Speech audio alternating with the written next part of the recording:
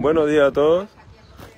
Después de una semana intensa de trabajo, cirugía, y trabajo, y trabajo, y trabajo, y más trabajo, y familia también, por supuesto, eh, llegamos el fin de semana, estoy libre, estoy con mi pareja y me conecto con ustedes para desearles que tengan un feliz fin de semana.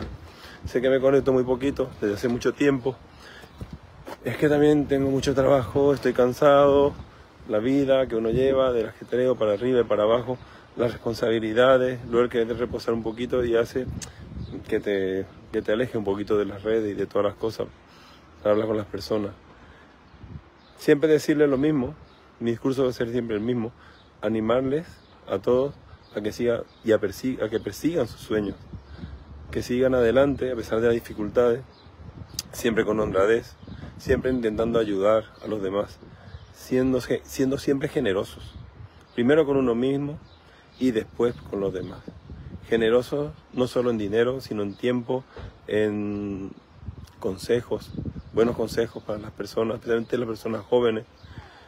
Que para mí el consejo más grande que puedo darle, el mejor que puedo darle es que estudien. Que estudien algo o que busquen algo que les guste de verdad, que les apasione. Como le dije a mi niña el otro día, que no busque ganar el dinero, que no es malo tener dinero.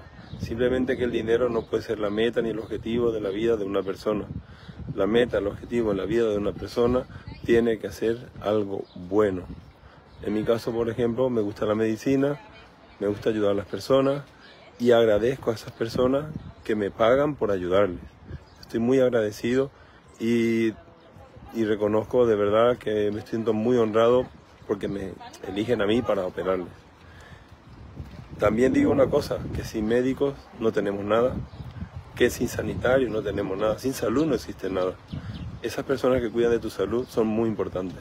Así que tenemos que cuidar a esas personas de verdad mucho más que a los futbolistas, mucho más que a los políticos y mucho más que a cualquier otra persona sin desmerecer a nadie.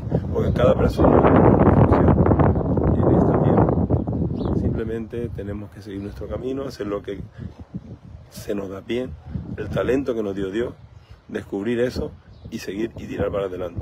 Bueno, en fin, que me estoy extendiendo mucho. Un besito para todos, feliz fin de semana, les deseo para todos y hasta el próximo directo. Chao, Dios.